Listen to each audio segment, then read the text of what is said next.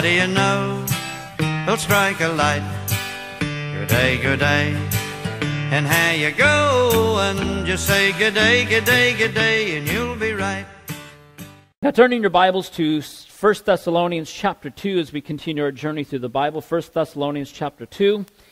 We'll be looking at verses 10 through 20 this morning. And the title of this message is You Are Our Crown of Rejoicing. You are our crown of rejoicing. And let's read verse 17. But we, brethren, have been taken away from you for a short time in presence, not in heart, endeavoring more eagerly to see your face with great desire. Therefore, we wanted to come to you, even I, Paul, time and again but Satan hindered us. For what is our hope, our joy, or crown of rejoicing? Is it not even you in the presence of our Lord Jesus Christ at his coming? For you are our glory and joy. Let's pray. Father, we thank you so much that we can gather together as your precious people to study your word. We pray that you would just teach us, instruct us, and that we would uh, walk out of here as changed men and women, growing more in our walk with you, maturing, and that we would just continue to love one another. So we thank you so much for this time in Jesus' name. Amen. Although this passage is quite brief, each verse has something important to say to us. And as we begin, again, you can recall the Apostle Paul, how he stayed in Thessalonica for three to six weeks or so. There's a couple different scenarios there. And uh, he founded the church there and, uh, uh, and left. You know, so when he came into the town, there was no church, no believers, and then he shares the gospel, people get saved, a church is born. And then because of this happening, there was this uproar with this Jewish opposition, and he was forced to leave the town for his own safety. He was planning to stay there. Uh, he wanted to uh, eventually come back, as we'll see, uh, but things had uh, permitted him not to. Uh, and because of his delay and his uh, opportunity to come to there, his opponents had whispered, gossiped, slandered against his character.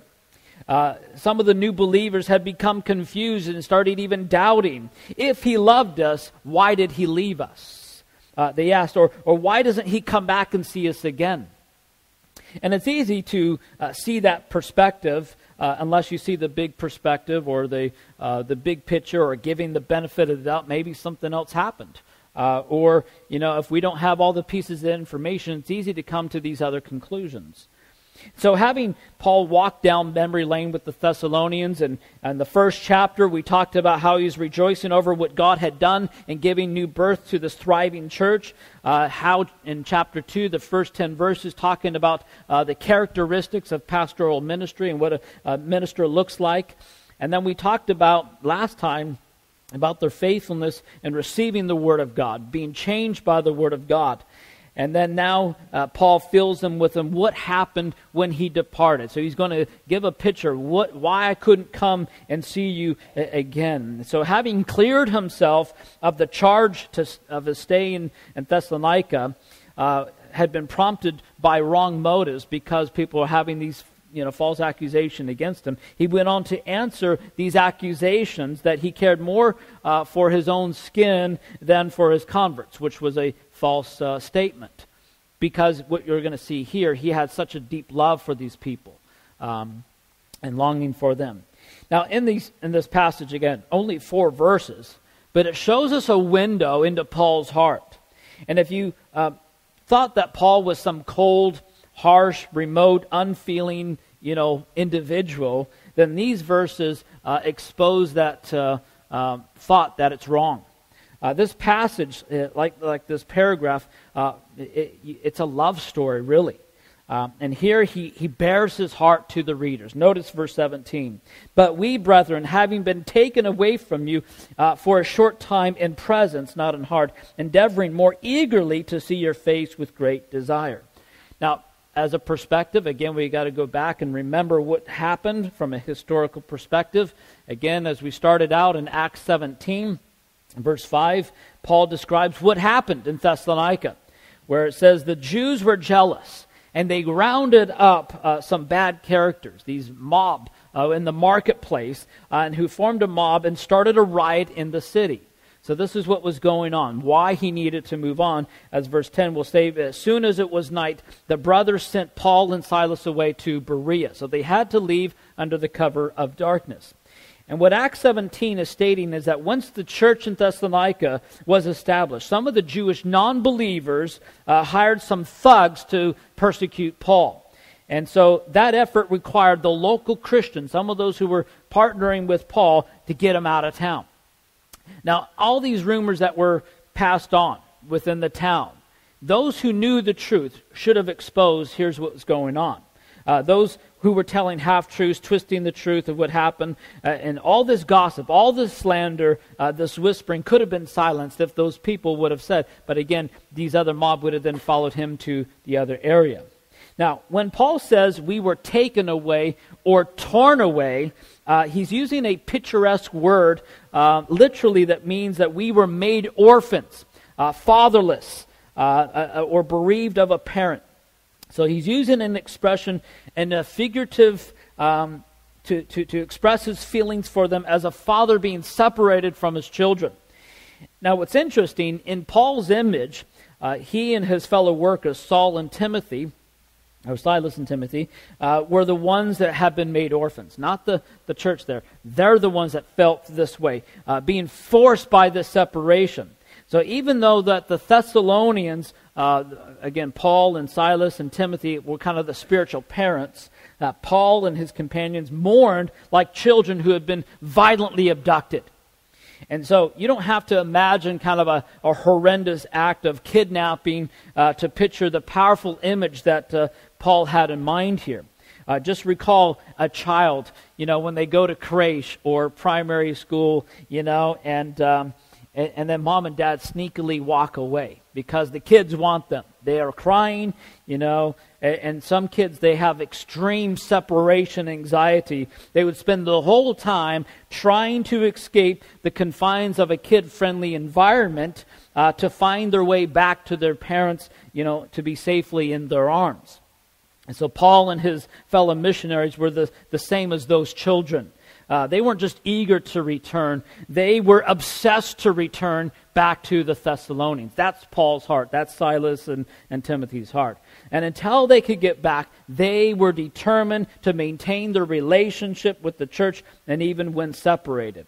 And this is what Paul meant when he had been taken away in presence but not in heart, not in spirit. So he's uh, so deeply that he had been attached to these Thessalonians that made him feel that he was being torn apart, uh, you know, like in the flesh and blood had been taken from him. So Paul's behavior and attitude and passion for these precious people speaks volumes of care and compassion and how he was called to minister to these people.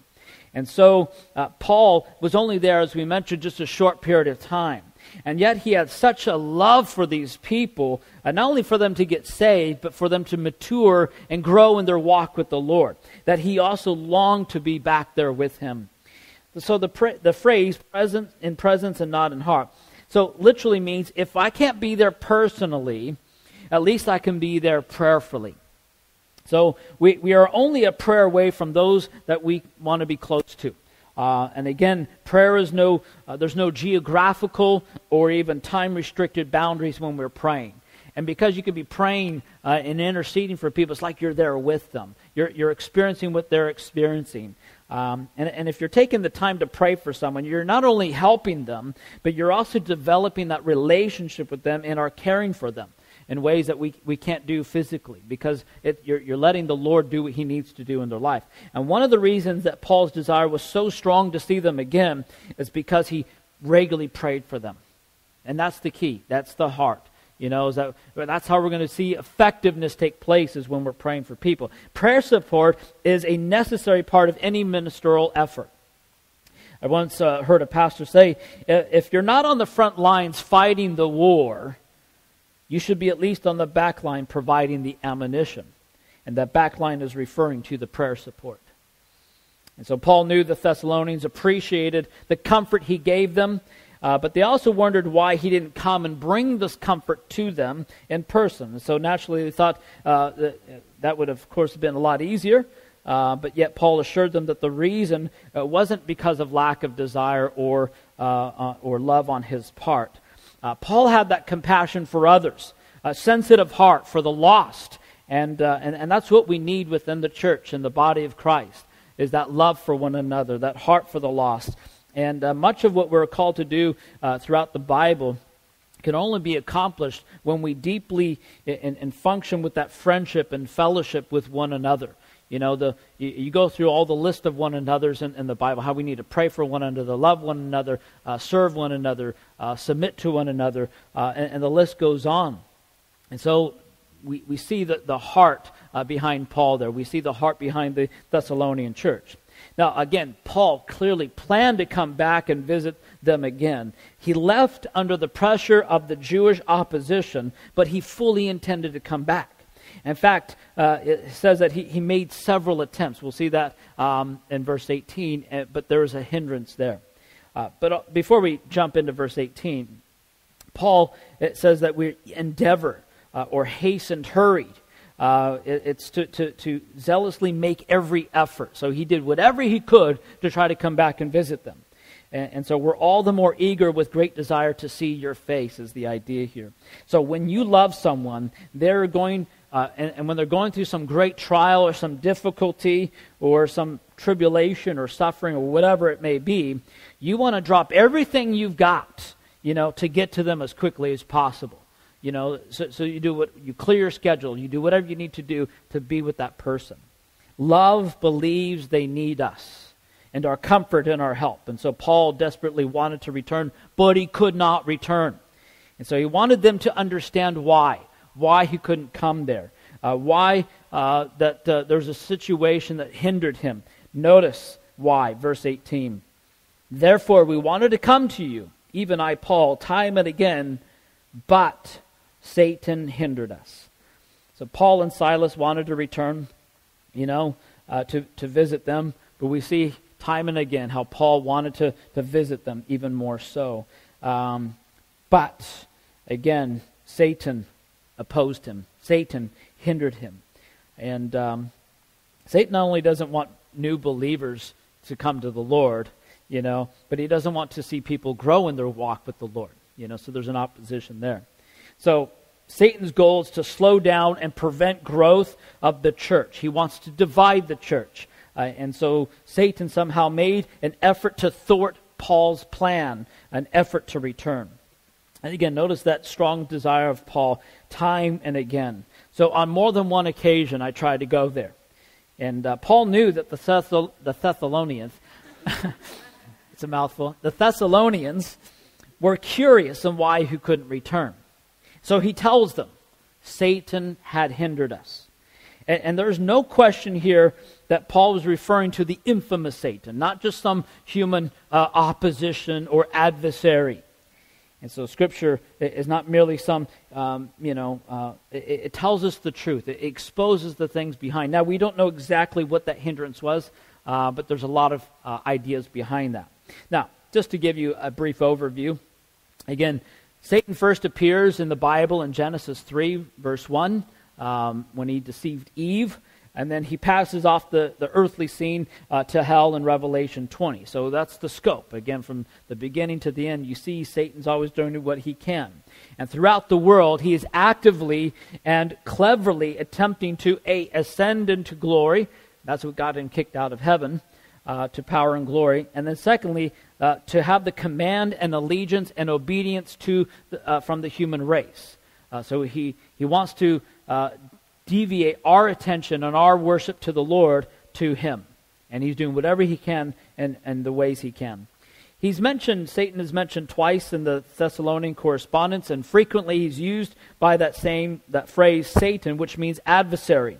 And so he, he also refers to him as the tempter and the evil one uh, later on in the, uh, 1 Thessalonians and also in 2 Thessalonians.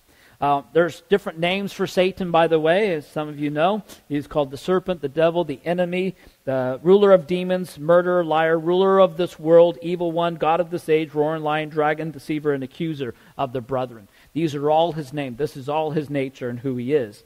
Uh, Satan's chief activity and goal uh, in the lives of Christians is oppression and causes them to think differently about God's word.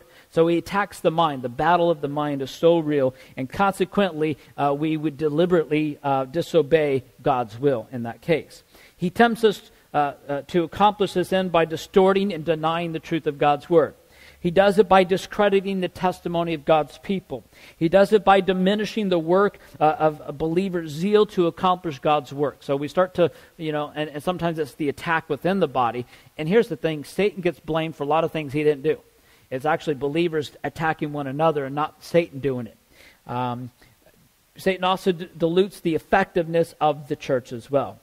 The enemy uses obstacles, hindrances, oppression, fears, trials, uh, torments, tragedies, among many other things. Now, within the trials, again, there's all kinds of trials, and, and uh, from dealing with people, uh, the persecution, the blasphemers, uh, the antagonists, the, the, people hindered in the way, uh, you have uh, dealings with the family and, and marriage uh, problems, all kinds of things that can be trials that the enemy could use to, uh, to uh, distract us uh, from our focus and our attention to the Lord. the torments, you, you, see the oppression, depression for one thing, the, um, the hopelessness, the emotional attacks that he can afflict on people, um, the spirit of infirmity, as the Bible says in Luke, I think, 13 talks about the spirit of infirmity, uh, you know, just the uh, different uh, hypochondriacs and psychosomatic illnesses and all kinds of other things that the, the enemy can uh, thwart. Uh, there's fears, uh, anxieties, panics, timidity, insecurities, inadequacies, all these other things. You can see how the enemy tries to use these sort of things to torment people, dealing with hatred and bitterness and rage, the, the moral uh, issues, the lust and the temptations, uh, obsessive thoughts. Um, so, all those sort of things, we can see how the enemy uses those things to afflict and, and oppress uh, believers. And then you also have, uh, you know, where people are bondage to the enemy, a bondage to uh, the, the oppression, uh, the tragedies that can happen throughout these circumstances, dealing with drugs, um, the power of substance, and alcohol, illegal drugs, prescription pills. Well, people are addicted to that. You know, that's their their um, you know um, comfort in life instead of the Lord. Uh, their sexual deviations, addictions, pornography, homosexuality, immoral behavior, abusive behavior, uh, you know, the assaults and uh, self mutilation, suicidal thoughts. The suicide rate is off the chart these days. You know, we're always hearing every week someone committing suicide, and that's a, that's the, the thing of the enemy, trying to get people to believe a lie. And uh, the, the, list goes on. You can see, and we're, not, we're just barely getting into some of the hindrances, the uh, oppression that uh, the enemy does. Uh, but all these sort of things Satan uses as strategies to hinder the work of God taking place and having impact in our lives. Um, the word hindered here in our text in verse 18, it's a military sense of breaking up or, de- or cluttering a road so it makes it Im- impassable for the opposing army. Uh, so it's describing Satan's activity uh, with the uh, opposition to Paul. So to him, it was intense spiritual warfare. Uh, and, and the enemy was lying in ambush and attacking him in this way. So here's the question that pops up because of this discussion. Um, and here it is What's the difference between the Holy Spirit forbidding and Satan hindering? Great question. You guys are smart. Because in another passage, we see how Satan or how the Holy Spirit forbidden Paul to go someplace, and here we see Satan hindering him. So we can take this lesson from the Apostle Paul, who keenly observed the difference uh, between his own plans, uh, the Holy Spirit's plans, and the devil's plans. And again, as we know, if you were to take a, an example in Acts 16, exposes this idea. Uh, so Paul was called to preach the gospel to the Gentiles he got about his father's business with much zeal. And again, as he uh, formerly displayed in persecuting the church, he had that passion, but now he's using that for the furtherance of the gospel, to reach people. So as Paul traveled around the world over his, in his time, uh, and his apostolic team that was with him and missionary team, um, they went through certain cities to preach the word. And then the Holy Spirit stopped him in, in favor of a more strategic mission. Okay?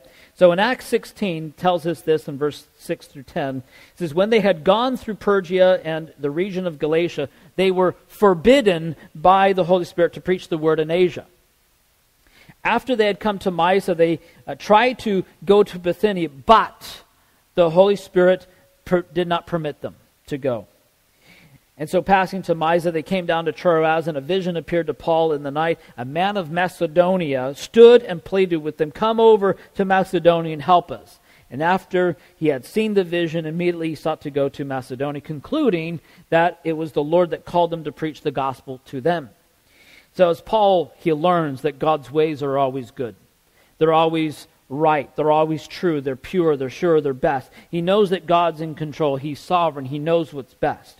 Paul concluded that the Lord wanted him to preach the gospel to the people in Macedonia only after the Holy Spirit twice pre- uh, prevented him to, to go to other cities. So he gave them a vision that clearly laid out the next leg of their missionary journey. So, in other words, Paul's plans uh, had his plans, he had his idea, but the Holy Spirit had a different plan for him. And so Paul could have mistakenly blamed the devil uh, for the obstacles in getting the gospel out in Phrygia or in the region of Galatia and Pamphylia and Bithynia, but he discerned that it was the Holy Spirit that stopped him, not the devil that, you know, preventing him to fulfill his ministry.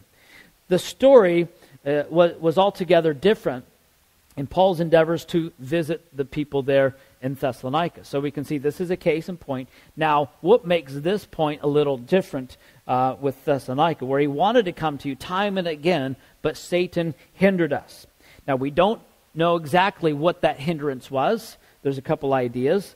Uh, but Paul determined it was Satan hindering him rather than the Holy Spirit hindering him or what uh, Satan may have wanted uh, uh to do to him. Uh, but Paul was certain the devil was to blame. So here's some uh, key things in discerning satanic hindrances. Sometimes, again, it's obvious the Holy Spirit is preventing you or that the devil's thwarting you. So, so here, here's, here's some things that we can tell the difference. Number one, what we need to do is ask the Lord uh, what's going on. So, first of all, we need to pray and seek the Lord what's going on. And when in doubt, our, our first and our best move is just to trust the Lord and not lean on our own understanding. In all our ways, acknowledge Him, and He will direct our paths. Uh, just because we've seen a pattern how the Holy Spirit moves or how Satan works doesn't mean we can automatically presume uh, what's behind it. So we have to, you know, kind of wait on that. Um, but there are some discernible hints. Uh, another thing is did God already tell you what to do? So has He already spoken to you about this? Uh, if you're convinced that the Holy Spirit expressly told you to do something uh, and, and, you're meeting with obstacles, it's likely the enemy is trying to prevent that ministry taking place. So the Lord spoke to you time and again, and you're trying to do this, but you're met with constant opposition. It, the enemy's behind it. Satan's constantly working to hinder God's plan, uh, and even though he's already defeated. The other thing is, what's the objective of the hindrance? So any hindrance, listen, that keeps you from getting closer to the Lord is not from God. God is always wanting you to draw closer to Him, to be used by Him, not to pull away from Him. Satan will set up idols in people's lives, hoping, uh, you know, that you'll go after that. Whether it could be a promotion, could be a thing that the enemy is throwing at you versus the Lord, because that promotion can destroy you, um, or, or money, or entertainment, or some fame, or something else. Uh, not all that is from the Lord. Sometimes the Lord places people in those positions. Sometimes the enemy's, you know, prompting people, you know, and, and uh, you know, sometimes if it's a work situation where it draws you away from the Lord or drawing closer to the Lord, be careful of those things. Even though you might have more money in that opportunity, doesn't mean that's from the Lord. Um, what's going through your mind? Here, here, this is so key. Uh, the Word of God says that we should think upon these things. And, and if the hindrance that you're facing is coming uh, from unpleasant thoughts, uh, fears of imaginations, uh, that's not God speaking to you. So, again, learning to discern the voice of God versus the voice of the enemy. Um, the, the devil will get you into fear and doubt and unbelief. Um, the enemy's there to deceive you. He causes oppression, brings fear. Uh, he torments you. He discourages you, causes confusion, uh, causes you to rationalize sin, uh, causes you to lose hope, uh, to be dismayed, uh, to seek revenge, uh, causes you to curse the Lord, um, causes you to lie, stirs up unforgiveness. He, he rushes it. He pushes you, frightens you, confuses you, discourages you, worries you, oppresses you, and condemns you. So if you feel that condemnation, it's not from the en- it's not from the Lord, it's from the enemy. So you're going to hear that voice, and hopefully you don't listen to that voice. The voice of God is still. There's peace. He leads us. He reassures us. He enlightens us. He encourages us. He comforts us. He calms us. And there's times where He does convict us. And so we need to discern he- hearing and listening to the voice of God. And remember, we're not wrestling against flesh and blood. Again, we're wrestling, um, but um, you know, a lot of times we're wrestling with the enemy, not the Lord. In other words, we don't want to be resisting God when we should be resisting the enemy. And the enemy is rock, walk, walking around like a roaring lion, seeking whom he may devour. And another passage on the positive side in Second Chronicles uh, 16:9, where it says, "The Lord, His eyes run to and fro o- over the earth, uh, in order to strengthen those whose hearts are loyal to Him or committed to Him." And so, night and day difference there. One puts fear and t- uh, intimidation in you; the other one brings hope and, and encouragement. And so, the bottom line is: do what Paul did. Commit your way to the Lord. Trust also in Him, and He shall bring it to the pass, as it, the Bible says in Psalm 37, verse five. So um, so we see how Paul, again, he greatly longed to be with the Thessalonians, but was satanically oppressed. So he, there was some sort of discernment there. He knew that this was from the enemy versus from the Lord just stopping him from going. And so uh, the enemy will oppose us and uh, to, to keep us from doing what God has told us to do or what we can be doing and should be doing. So Satan has not only prevented their return, but here's the thing. As a result, potentially, if he did return, these letters that we're reading probably wouldn't have been written. Okay? So God uses all things to work together for the good. And um, the Thessalonians and you and I would be deprived of these letters if, you know, he ended up going to Thessalonica. But God had a better plan. Because of these circumstances, everyone reached a new level of spiritual purity and strength and growth because of this and so while Satan has the power to hinder and frustrate the work of God's servants, he can only operate within the confines of what God permits him to do. Because God is still in control, God is still sovereign. That's hard for a lot of people to, to fathom and to, to comprehend. Um, but here we do see there are some roadblocks there. And, and God can use what the devil tries to accomplish for his own purpose. Keep that in mind because he's a sovereign God and he knows what's best. Hey, Satan stopped us, but guess what? God did something else there. Now, as we continue on in our passage, we see the tone in verses 19 and 20. It leaves us no doubt of what Paul thought about them. Notice verse 19. For what is our hope, our joy, our crown of rejoicing? Is it not even you in the presence of our Lord Jesus Christ at his coming? So here he gives us a, a glimpse in why he's so persistent. These people were his joy, his hope, his crown. And so Paul understood life today and the light of eternity. He had the big perspective. He built the present upon the certainty of the future. So everything pointed toward the day that he would stand before the presence of the Lord. He knew that these people were the treasure and the glory for which God had suffered and worked for. So basically saying you're deeply loved. You, you are our pride. You are our joy. You make ministry worth it. So, with overflowing love for this young church there, Paul is asking a question and then he answers it himself. What is the hope, the joy, or crown? It's you. Now, the word hope here describes Paul's confidence in these believers. Paul had, again, many spiritual hopes uh, that were bound up all in the will of God, who is the God of all hope, as uh, Romans 15 13 talks about. But in one way or another, all these hopes related to the believer's progress toward the ultimate salvation or being with the Lord or growing in their walk with the Lord. Uh, other passages that talked about what Paul hoped for. He hoped for the glory of God, righteousness, salvation, Jesus Christ, eternal life, and the blessed hope. So these are all different things that he talked about the hope here.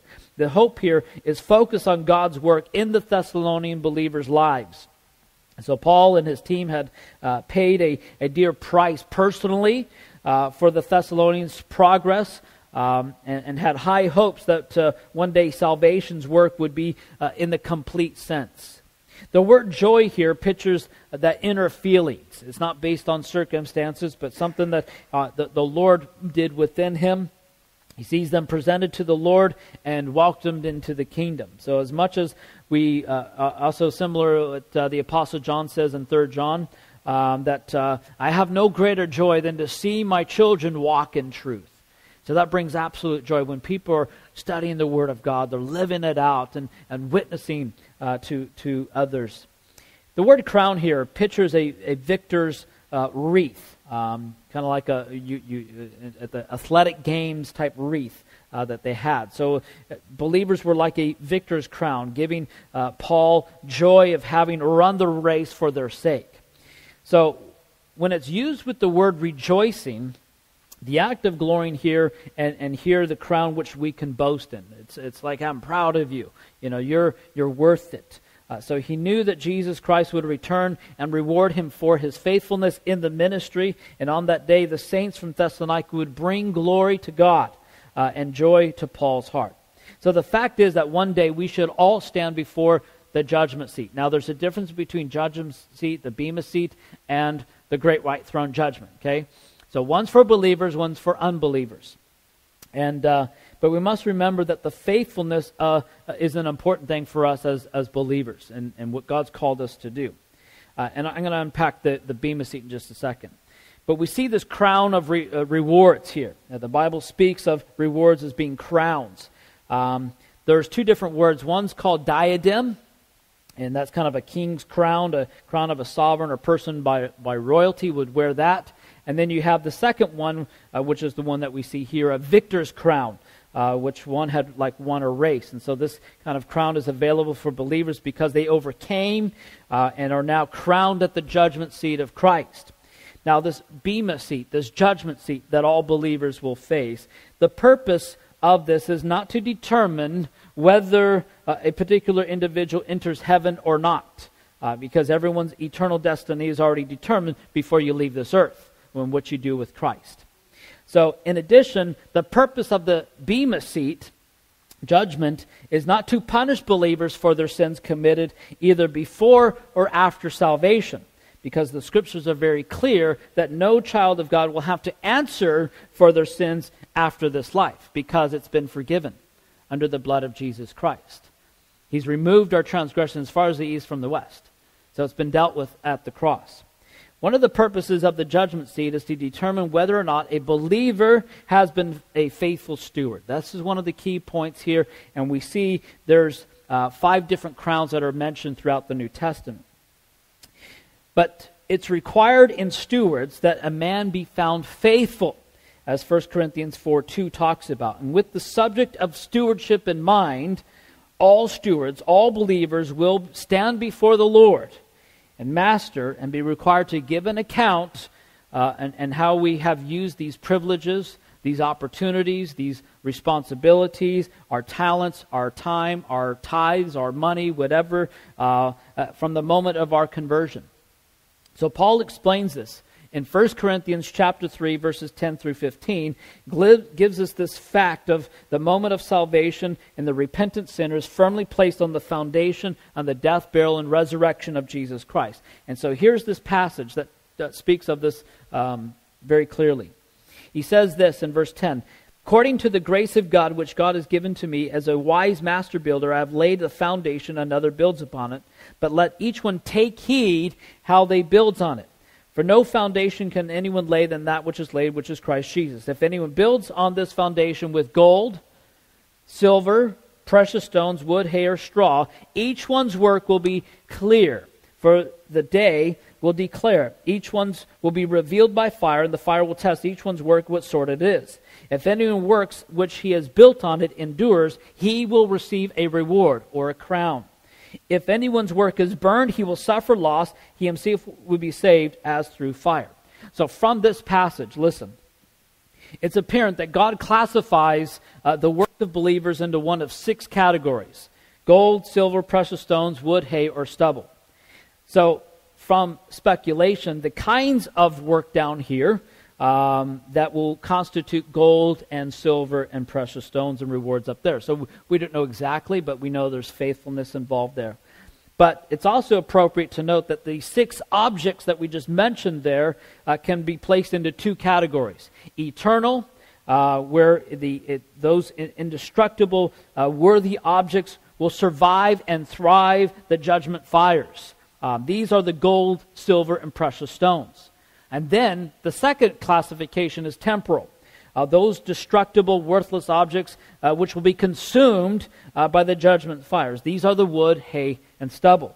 So, a great deal of what we call, or, or what is called Christian work, uh, may be only the energy of the flesh.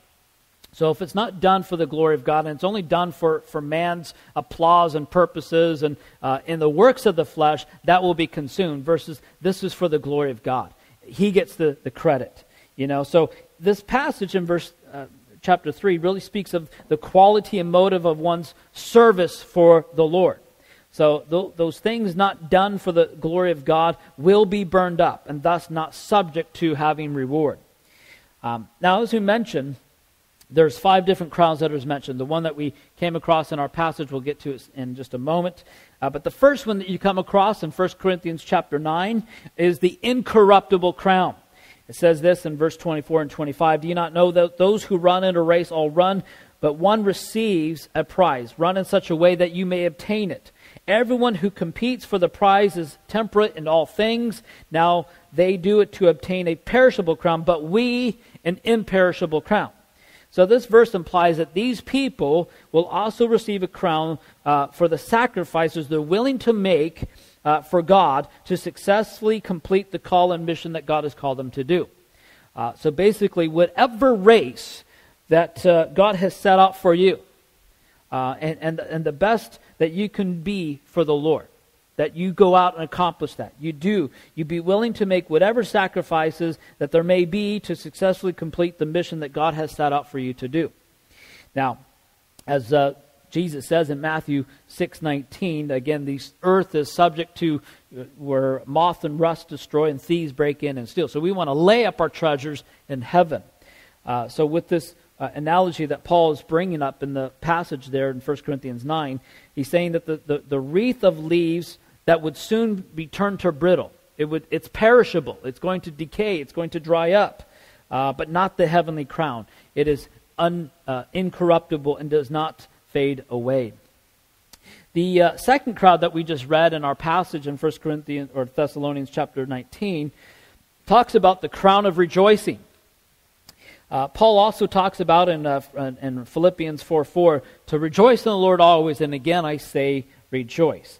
Uh, we do that because of all the things that God has blessed us with. We cannot help but rejoice and be excited what God has done for us and how He showered upon those blessings upon us. But as Christians, uh, we have more in this life to rejoice about than any other person that's walked the face of the earth because of who we are in Christ. Now, this crown of rejoicing is for faithfulness in service. Uh, this crown has also been named the soul winner's crown. And so it indicates here uh, that God will bring a, and give a crown to those who have witnessed to others and leading people to Christ. That's the idea behind this uh, crown. Telling others about the grace of God, telling others about Jesus Christ, uh, is the greatest thing that you could do for someone while here on earth. It's, it's the one thing we cannot do in heaven as witness. When you help someone to be led to the Lord, you have just been a vessel of the Lord. And just imagine how you will rejoice in heaven uh, upon seeing and, and talking with the people who recognize that your contribution uh, to their spiritual development, for them coming to the Lord. Everyone has a part to play, you know, uh, in, in, this. You know, we're, we're all a team in this effort to reach people for Christ. And so we see here how Paul calls those who are in the presence at uh, Jesus' second coming his crown of rejoicing. Uh, you cannot be in the presence of Jesus at his coming unless you've already been saved. That's part of the key there. So the people that Paul is thus implying um, that a crown will be given are those instrumental in getting others saved and into the presence of the Lord. So they're part of that crown of rejoicing. The third crown that's mentioned in Second Thess- uh, Timothy chapter Second Timothy chapter 4 verse 7 and 8 talks about the crown of righteousness. Says I have fought the good fight, I have finished the race, I have kept the faith. So he, these are Paul's final words that he's talking about. Finally, there's laid up for me a crown of righteousness which the Lord, the righteous judge, will give to me on that day, not to me only, but to those who love his appearing. So this is a, uh, about faithfulness and, and testimony and, and, sharing Christ and, and, leading people to Christ um, and, and living uh, that the life that he calls us to live here. So those who love the appearing of Christ, who anxiously wait and look forward for the day when he will soon return. This crown is given to those who have lived a good, righteous life for the Lord while living down here. And so uh, it, it is Christ's righteousness that we have, that we hold on to. It's not our own righteousness uh, that uh, we have. So those who depend upon their own sense of righteousness uh, or their own works, uh, again, it's, it's going to be wood, hay, and stubble. Um, and, and, having that attitude is nothing but pride and arrogance. Um, and, and, you're not going to long uh, or have a fervent desire to be with the Lord when it's about you and it's about your glory instead of uh, the Lord. So this crown is for those who have kept the faith, both doctrinally and morally, in spite of the adverse circumstances. It is a crown given to those who love his appearing and those who are longingly looking for the return of Jesus Christ. The fourth crown, as you come, and there's two parts that this one's mentioned in, first, uh, in Revelation and also in James chapter 1. James chapter 1 says this in verse 12 Blessed is the man who endures temptation, for when he has been proved, he will receive the crown of life which the Lord has promised to those who love him. And then in Revelation, uh, talks about those who suffer martyrdom uh, for their faith. In uh, Revelation 2.10 says, Do not fear those, who, uh, those things which are about to suffer. Indeed, the devil is about to throw some of you into prison that you may be tested, and there you'll be, have tribulation 10 days, which just means a short period of time. Be faithful unto death and I will give you the crown of life. So, this is kind of talking about the faithfulness and, temptation and in trials. It's for all believers, especially those who are enduring suffering, uh, who uh, bravely confront per- persecution for Christ's name, uh, even to the point of death. And again, throughout Scripture, the word life uh, is often used to show us a, a, a right relationship with the Lord. Uh, as Jesus says in John 10:10, 10, 10, I've given, I've come that they may have life and that more abundantly. Uh, and, and such things as air and, and food and, and water are vital to our physical lives. But Jesus, uh, He provides the spiritual life. You know, that He is the living water, He is the bread of life. And we know that our, our lives here will soon uh, end uh, unless the rapture happens before. Uh, but uh, we have an amazing promise that comes to those who come to God through Jesus Christ. And this is the promise that He has promised us eternal life. So James tells us that this crown of life is for those who love God. And so the, the question then sometimes is how do we demonstrate that love? And again, John answers in 1 John 5 3 this is the love of God, um, uh, that we keep his commandments, and his commandments are not burdensome. So, as children, we must keep his commandments, obeying him, always remaining faithful. And always looking to Jesus Christ as the author and finisher of our faith. The fifth crown uh, is mentioned in 1 Peter chapter 5, verse 2 through 4, and this is called the crown of glory.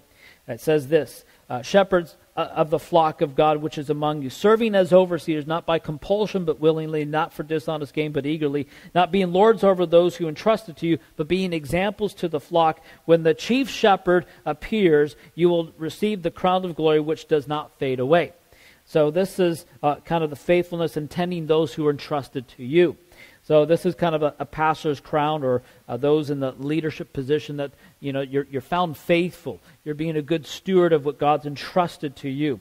Uh, so this crown signifies the importance of the sacrifices of bringing others up in the, the ways of God. The greatest achievement uh, is to in, in, fulfilling your calling and, achieve, and finishing the work of God. You know, you're found faithful. You're doing what He's called you to do. And uh, the scripture reference is speaking of pastors or, or the shepherds, they're under shepherds who finish their work faithfully. Uh, but this crown, uh, I don't think is just for pastors only. Uh, I, I, think it's for anyone who finds and fulfills their assignment that God's given them to do. You know, the, the task. We're all called to be teachers. We're all called to, to serve and to uh, minister the gospel to people. Um, and, and, the fact that God's promise rewards uh, us is one of the effort, evidences of His grace. Uh, our motive for serving Him is love. This is what we always say. Notice who you're serving. You're serving the Lord Jesus Christ. You're not serving the church. You're not serving the pastor or anything like that. You're serving the Lord. Your focus is on Him, doing it for Him. Now, as we mentioned as we started this book, in every chapter of First Thessalonians has some reference to the second coming of Christ, as we see here in verse 19, is that representative here in chapter 2. Uh, and, and so we, we the, the, first is, is about sharing the joy of salvation with others. It's about Jesus. It, it's you know bringing people to Him. And again, the, the second coming, um, you know, there's there's several components to that. We've talked about the, before. Not only the rapture is talking about that, but the second coming after the tribulation period. Um, but that part of joy is sharing it with others at His coming. And this brings us to the final part of the passage, verse uh, 20 where it says, You are our glory and joy. So, not just in heaven, but right now, you are the most important thing uh, into the, the world for us. And we, and we, think, we think about you night and day. Uh, we pray for you. We never stop telling others of how proud we are of you. And so, every parent, again, understands uh, what Paul meant by this. Uh, and this happens when, when, when uh, a baby is born. You can't wait to tell other uh, people uh, the good news. And uh, you have pictures, you have statistics, you have stories and, and their features, and you tell others about the, you know, that they're the smartest, best looking, uh, cutest baby born. Uh, but, but all babies, when they're born, are ugly, you know? Sorry. But, uh, but, anyways, you got pictures to prove it. You know, your heart is that you just love this precious child. And this is how Paul felt for these Thessalonians uh, even though he was separated from them, uh, even though he couldn't return right now, uh, they were always on his heart. He had this deep love and passion, just like as a, a parent for your children. You're always thinking about them, you're always uh, loving them and caring for them, you're always in their thoughts and their prayers. So you don't have to wonder um, what the, the Christians there in Thessalonica thought about when they read this letter. How they must have been encouraged and uh, uh, how it touched them tremendously, how it blessed them, how it answered some of their questions. Uh, and, uh, and, and they're going to re, go through some intense persecution and suffering, and, and perhaps some of them were, were tempted to even give up altogether. And so Paul encouraged them don't give up. Uh, lay up you, you, know spiritual resources that you have in jesus christ you have the word of god you received it uh, and the people uh, of god around you you know you you're part of this family, this body of Christ, and the glory of God before you. And so there's no need to give up. What encouraging words for them, and what encouraging words for us. Amen? Let's pray. Heavenly Father, we thank you so much for choosing us and saving us and, and uh, ministering to us in a, in a powerful way. We thank you for this letter as it gives us words of encouragement, words of hope. And so I pray that we be doers of your word as well, that we not just be hearers only, but we apply these things. Continue to mold us and shape us more into your image. I thank you for every precious people that is, that's here today, Lord, and those that are watching online, that you would fill them with your spirit, that you would lead them to deeper love relationship with you. Those who are struggling in their walk with you, that you administer to them. Those who are struggling physically, mentally, emotionally, whatever the issue may be, that you would touch them, that you would bring that word uh, to them that they need to hear. So I pray for just that sensitivity to your spirit for all of us. Be magnified and glorified in Jesus' name. Amen.